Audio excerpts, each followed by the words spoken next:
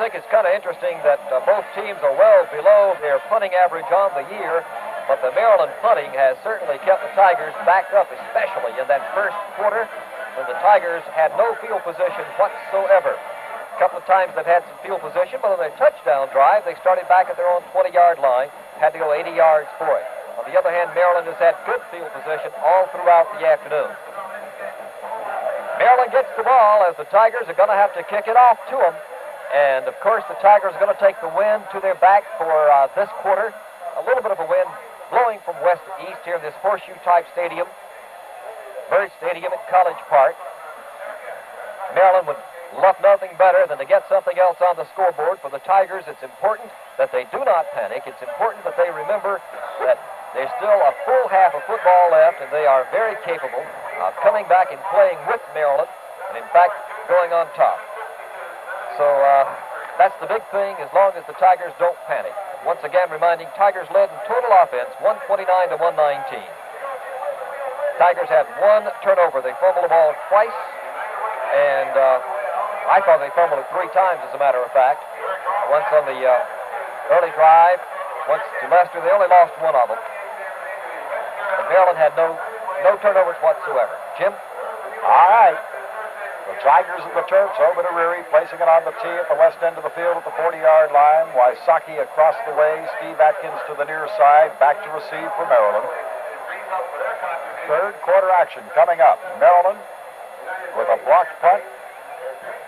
Recovered by Michael Carney in the end zone, moving on top 14 to 7 just before the end of the first half of play. How much emotion do they carry into the second half as a result of that? We'll see. Here's Ariri's kick, a flat one down the right side. Wysocki watches it hit out of bounds around the six or seven yard line. Well, they'll say it went out at the nine. So they'll elect to have it come back, and Ariri will tee it up at the 35 and start over again. Over that time looked as if he wanted to power it, and when he did, he overkicked it, got a little high, and hooked it over. Kind of like your golf swing, you hooked it a little bit. Doesn't look like my golf swing. My golf swing's like anything you've never seen. Is that right? Wow, can it get bad at that? So Obed backs up to the 35 now. He'll place it on the tee there, and we'll be set to go again. Wysocki still to the far side, Atkins to the near side. Tigers' total offense was more than Maryland's, but the Terps have more points on the board, and that's what it's all judged on. The bottom line is what the scoreboard shows. Jim, I, didn't, I did not get to the fact that Brown had 38 yards, Atkins had 46 yards rushing in that half. Interesting, though, Lester started off quick this afternoon, got his yardage early. Atkins started slow and then came on. So we'll see whether that changes any or not. Now I guess we're all set once again as Obed is backed up. Now gets the whistle and approaches the football once again. This time boots it high, and he really nailed it. Going to be over the head. He nailed it a yard from the restraining line at the back of the end zone. That's the way to come back from a bad kick. Just back up five yards and kick it 20 yards further than you could normally. So Maryland will start first and 10 at their own 20-yard line. If he had been kicking that one from the 40, it would have gone into the stands, in the end zone stands. So once again, O'Hare and company taking to the field now as Maryland leads 14 to 7 in the football game, and we're just into third quarter action. O'Hare bringing them out. Kozel and Atkins will be in the eye. Wide left comes Richards. Carinci splits off the right side. O'Hare at quarterback moves up under. Pitch back. This is Atkins. He's going to be caught. That's Jim Stuckey wrestling him down back around the 18-yard line. Good pursuit laterally that time by the Tiger defense, and there was nowhere for Atkins to turn up. When he did turn up, he ran right into Jim Stuckey. So a loss of two, it'll be second down and 12. Bubba Rollins cut down somebody who was trying to block, and Bubba more or less blocked them and cut down the interference on that side. Carinci comes wide to the left. This time they split Richards off right end. Line up in the eye once again behind O'Hare at quarterback. Out it comes. This time the ride off to Atkins, sweeping to his right. He's hit as he crosses the 20 to the 21 yard line, and down he goes. Across the way, Al Latimer was in pursuit. Jim Stuckey again over there with Bubba Brown, John Brooks. Ball spotted at the 21. It'll be third down and nine for Maryland. Kozel getting back in. Out comes Dudish. 14 minutes remaining, third quarter. Just underway here in the second half. Richards to the right, Lorenzi to the left once more. Third and nine, Maryland. O'Hare. Pitch back. Atkins misplays the ball, now turns it upfield. He's across the 25 and out to about the 29. But down he goes, just shy of a first down, and Maryland will punt the football. Atkins almost sprung that one for the first down and perhaps more, but he was stripped up back around the 25 and fell forward to the 29-yard line. Well, that, trying to see who made the hit on him there. Someone coming across in the middle got him by the ankle. It might have been Bubba. Interesting thing, they took uh, Willie Jordan out and uh, had Geathers in in his place on that, that play. All right, Jordan's backed up now as Castro punts. It's a high spiral. Jordan, fair catch, gathers it in at the 38-yard line. That's where the Tigers will take over first and 10. All right, the defense did its job. Now it's up to the offense as they're trailing 14 to 7 in the football game. And we'll see what develops from that halftime meeting that they had in the locker room across the way. All right, Tigers have seven points, and you're talking about a ball team that's averaging over uh, 30 a game, so you've got to know they're going to put some on the scoreboard regardless of how good Maryland is. Out comes Butler, wide to the right side. Tracy Perry and Lester Brown line up in the eye behind Steve Fuller. Fuller takes out. Perry gets the call. He cracks out across the 40 to the 42-yard line before Charles Johnson can bring him down. Tracy's running very, very tough inside today. Ball is marked at the 43-yard line, in fact. That's a gain of five. It'll be second and five now. Tracy's also protecting that ball with both hands most of the afternoon. He's had some problems with that. Wide right comes Butler. Perry and Brown again line up in the eye behind Steve Fuller at quarterback. Abreu at left end and Anthony King at right end, both in tight.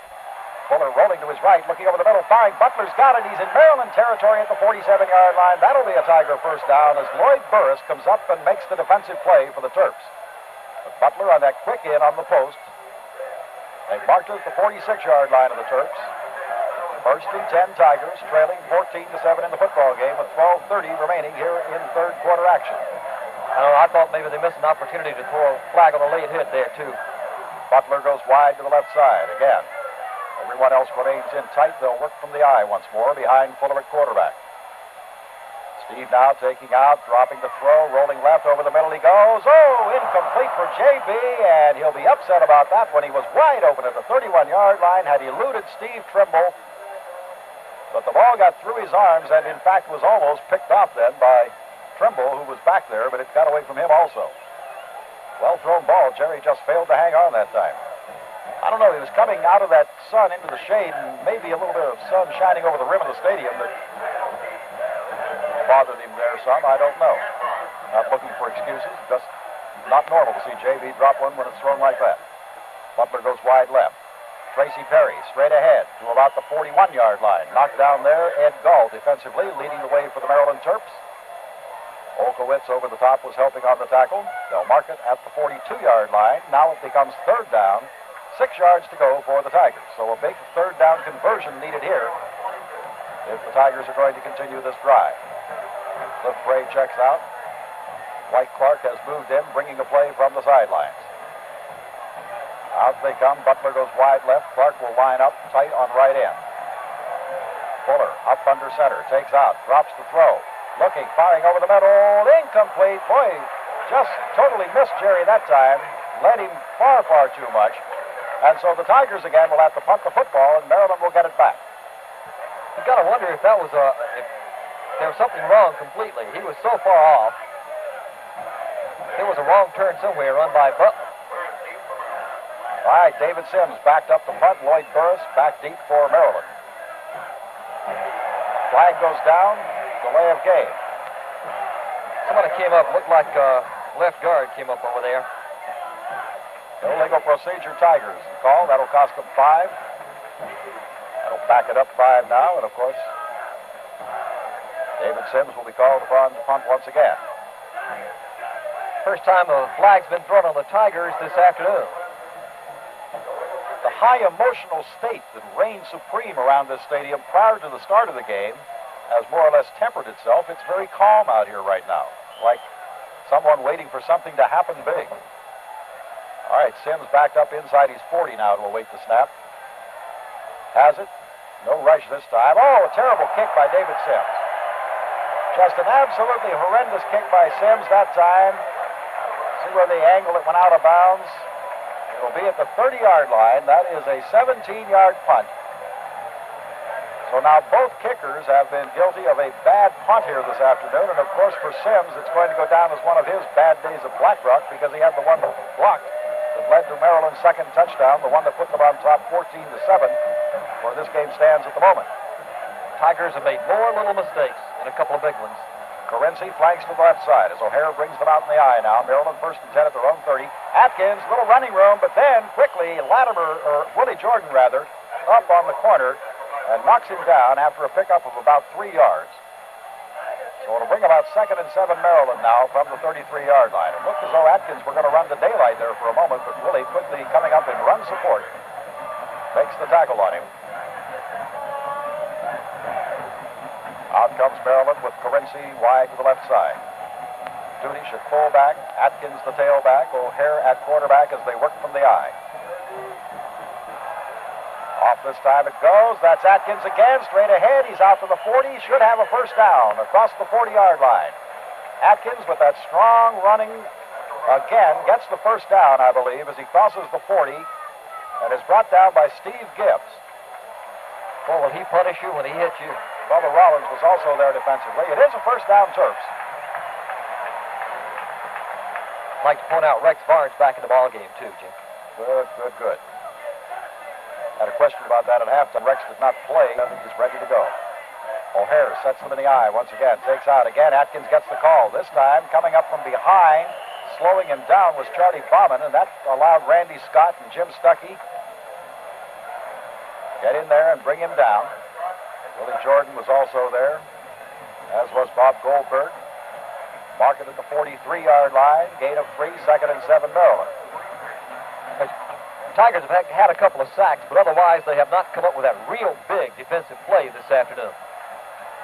Maryland set to go. They work from a power eye this time with Carinci lined up strong to the right. This time the give to Duty. She tries right guard and cracks out over the 45 to the 47 yard line. Is knocked down there. I believe they'll spot the ball at the 46 yard line. And that's going to bring about a third down and four now. So it's conversion time for the Terps on third down. They've done well this afternoon doing that, too. Jeff Bryant and Steve Durham have checked in at the tackle positions for the Tigers now. Atkins out, Wysocki gets in at tailback. Wide to the right goes Carinci. Dudish is the fullback. In the eye, O'Hare comes up under center, takes out, rolls to his right, looking to throw. John Brooks is after him. He flips a little screen out on the left side, and that's going to get him a first down as Burgess, the tight end, makes the catch. And here's a flag going down around the 42-yard line. Let's see what that one's all about now, as a flag was thrown downfield from the play, which ended up at the Tiger 48. The officials will get together, a little conversation. First down, Maryland. Then, personal foul, Tigers. Another cost them more. And that goes in line with the mistakes you were talking about. That time they had a tremendous rush on O'Hare. And he came up with the big release valve over there when he found his tight end, Burgess. And here's 15 being tacked against the Tigers, and the Terps have it first and 10 now at the Clemson 33-yard line. And in a game that you're trailing 14 to 7, you can ill afford to give a team like Maryland opportunities such as this very, very long. Carinci going wide to the right side. It's up to the defense now as O'Hare brings them out. Atkins is back in at tailback. O'Hare takes out, gives to Atkins, swinging wide to his right. He's got some running room and slips a couple of tackles. Here's a flag going down. Flags all over the place. Inside the 30 at about the 28-yard line. That's the kind of penalty you, so you, you think probably it's going to be a face mask. I don't know. Well, you think that way, but then you wait and see, and let's see what the judgment is on it now. This one might go against Maryland. The Terps are backing up, Ken. Yes, sure are. Get a look here and see if we can pick up the infraction as we see that replay that goes back to the fans at Littlejohn. Atkins, who's sweeping out wide to his right. There it is. There it is. Clip. They clipped Randy Scott. Carinci came back and got Scott from the backside on the clip, and that's going to cost 15 yards. That brings it out to the 44-yard line.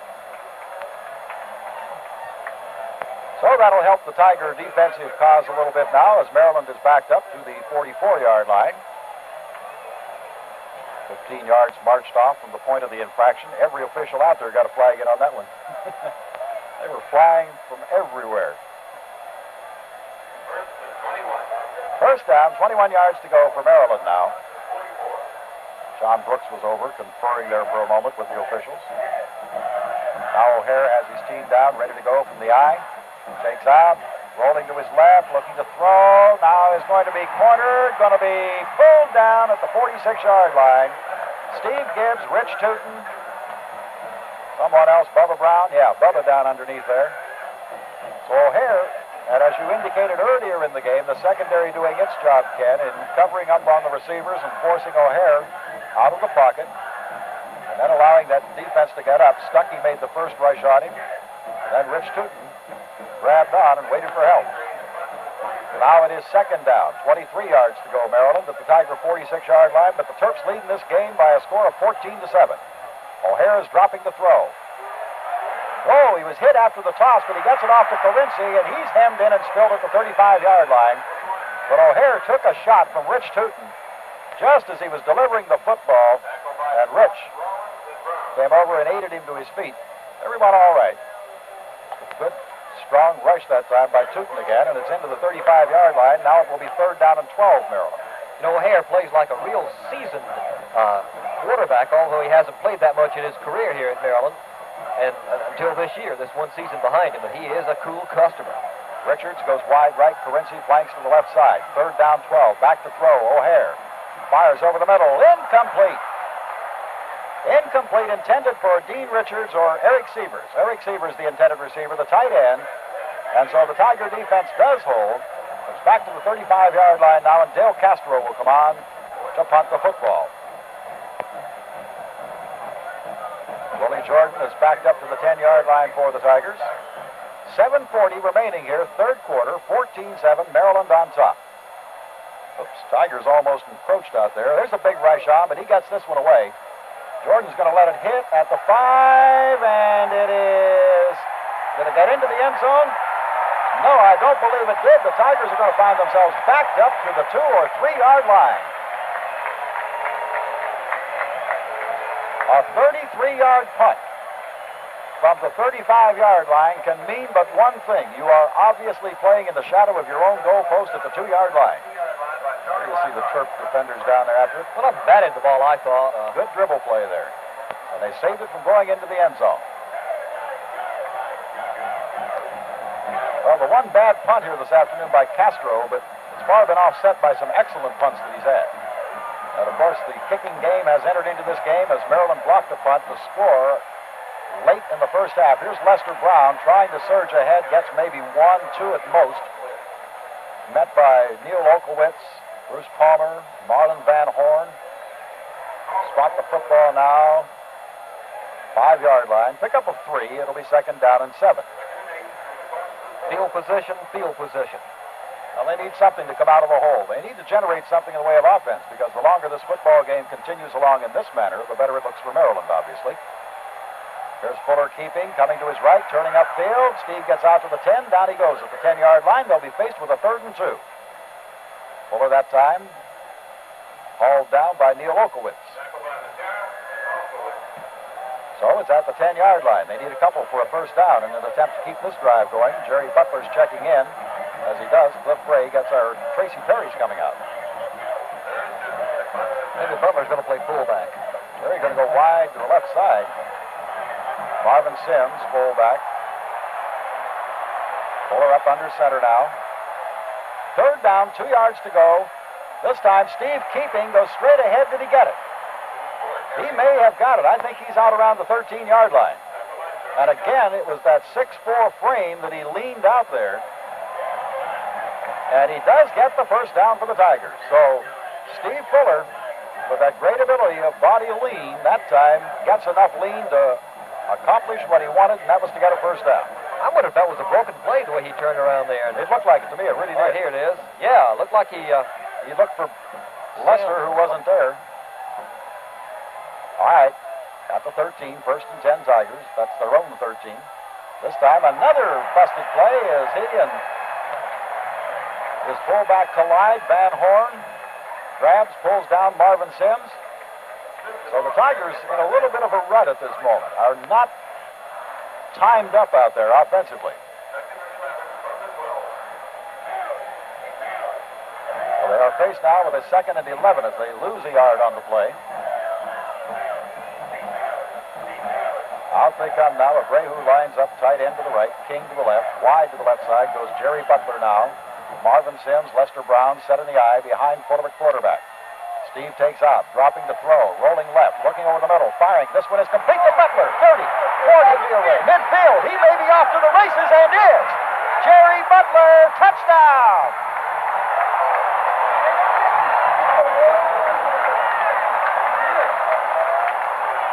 JB on a quick post over the middle, got the football 82, 88 yards. An 88-yard touchdown pass from Steve Fuller to Jerry Butler when he made the catch, Ken. There was no question about it. Watch the throw. Butler had full head of steam from one step out. On the replay, look out, Maryland. There's nobody you got can catch that young man. Nobody- Butler finally gets the one he's been waiting on all year. Nobody in the country could have caught him. So now Obed Ariri will attempt to tie this football game. Lots spot. Ariri's kick. It is good. Timeout on the field. The score here at Byrd Stadium. Clemson 14. A lot of kissing going on, I'll guarantee you. I might kiss him myself, you know. No, no, no. Don't get carried Well, away there, you know. young man. 15 seconds left in the football game as the Tigers approach the football. Steve Fuller reaches under, falls on it once again, and this will do it. And fans, Ken will be back with you very shortly, but I'm headed for the locker room, and we'll have post-game talk from there. We'll have some news, I think, on bowls. We'll have a lot of stuff for you because we're going to celebrate for the Clemson Tigers an Atlantic Coast Conference Championship as they win it over the Maryland Terps. And it is pandemonium at midfield as these Tiger fans race out to embrace their heroes who, when they arrive at Greenville Spartanburg tonight at 7.15, may be met by the entire state of South Carolina. Certainly should be, Jim. 7.15, their estimated time of arrival. For now, though, I'm going to head for the locker room, and Ken will be back.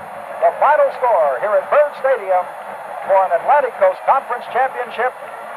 Clemson 28, Maryland 24.